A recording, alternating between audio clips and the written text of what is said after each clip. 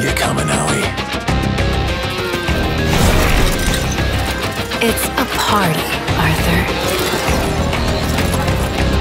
Of course not.